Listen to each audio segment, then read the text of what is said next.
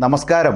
അഞ്ച് സംസ്ഥാനങ്ങളിലേക്ക് നടക്കുന്ന തെരഞ്ഞെടുപ്പിൽ ഏറ്റവും കൂടുതൽ അനിശ്ചിതത്വം നിറഞ്ഞു നിൽക്കുന്ന രാജസ്ഥാൻ കൈവിടേണ്ടി വരില്ലെന്ന ആത്മവിശ്വാസത്തിലാണ് സംസ്ഥാനത്തെ മുഖ്യമന്ത്രിയും കോൺഗ്രസിന്റെ താരപ്രചാരകനുമായ അശോക് ഗെലോട്ട്. രാജസ്ഥാനിൽ വോട്ടെടുപ്പ് അവസാനിച്ചതിന് പിന്നാലെ ആത്മവിശ്വാസം പ്രകടിപ്പിച്ച് മുഖ്യമന്ത്രി അശോക് ഗെലോട്ട് രംഗത്തു വന്നു. പാർട്ടി വ്യക്തമായ ഭൂരിപക്ഷത്തിൽ അധികാരം നേടുമെന്നാണ് അശോക് ഗെലോട്ട് അവകാശപ്പെട്ടത്. സംസ്ഥാനത്ത് ഭരണവിരുദ്ധ വികാരം ഇല്ലെന്നും കോൺഗ്രസ് അനുകൂല അടിയൊഴുക്കുണ്ടെന്നും മുതിർന്ന കോൺഗ്രസ് നേതാവ് വ്യക്തമാക്കി. ഓരോ തവണയും അധികാരം ബി ജെ പിക്കും കോൺഗ്രസിനുമിടയിൽ മാറി മറിയുന്ന ചരിത്രമുള്ള രാജസ്ഥാനിൽ ഇത്തവണ പോളിംഗ് ശതമാനം അധികം ഉയരാത്തത് കോൺഗ്രസിന് ഗുണം ചെയ്യുമെന്ന് കരുതുന്നവരുണ്ട്. അത് യാഥാർത്ഥ്യമായാൽ രാജസ്ഥാനിൽ ഇത്തവണ പതിവ് തെറ്റിച്ച് തുടർഭരണമുണ്ടാകും അതേസമയം അപ്പുറത്ത് ബി നല്ല ആത്മവിശ്വാസത്തിലാണ്.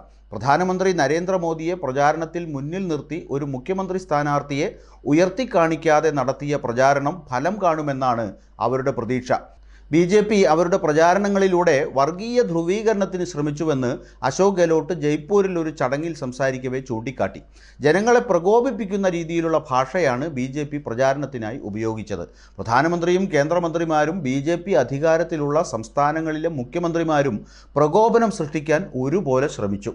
വർഗീയ ധ്രുവീകരണത്തിനായിരുന്നു അവരുടെ ശ്രമം. എന്നാൽ ജനം അതെല്ലാം നിരാകരിച്ചു.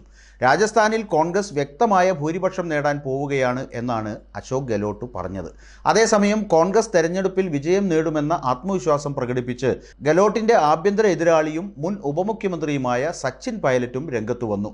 സംസ്ഥാനത്ത് കോൺഗ്രസിന് ഒരു അവസരം കൂടി ലഭിക്കുമെന്നാണ് സച്ചിൻ പൈലറ്റ് പറയുന്നത്.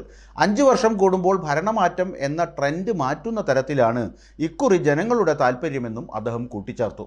രാജസ്ഥാനിൽ നവംബർ ഇരുപത്തിയഞ്ചിന് നടന്ന വോട്ടെടുപ്പിൽ പോളിംഗ് കഴിഞ്ഞ തവണത്തേക്കാൾ ചെറിയ തോതിൽ വർദ്ധിച്ചിരുന്നു.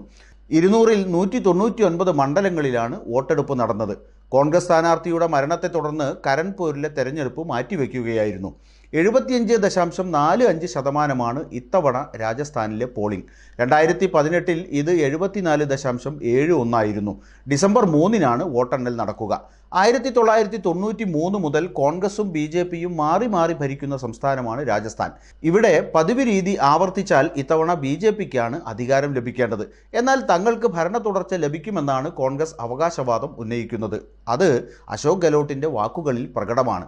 തന്റെ സർക്കാർ നടത്തിയ ജനക്ഷേമ പ്രവർത്തനങ്ങളും തെരഞ്ഞെടുപ്പിൽ മുന്നോട്ട് വെച്ച പ്രകടന പത്രികയും ജയം കൊണ്ടുവരുമെന്ന അശോക് ഗെലോട്ടിന്റെ ആത്മവിശ്വാസം യാഥാർത്ഥ്യമാകുമോ എന്ന് കാത്തിരുന്ന് കാണാം.